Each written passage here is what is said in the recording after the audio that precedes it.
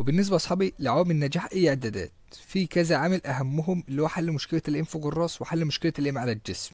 يعني يا أصحابي لو الراس هننقص الحساسية بتاعة النقطة الحمراء وهنكبر حجم زر الضرب. ولو الإيم على الجسم هنزود الحساسية بتاعة النقطة الحمراء أو نصغر حجم زر الضرب أو ممكن نعمل الخيارين مع بعض. والحاجة المهمة التانية اللي أنا عاوز أقولها بالنسبة للمسافة بينك وبين الخصم. لو الخصم قريب جدا أو متوسط ارفع الإم بقوة تمام؟ عشان يجي على راسه. أما لو الخصم بعيد لو رفعت الإم بنفس القوة هيطلع فوق الراس فأنت حاول تبقى الرفعه أقل.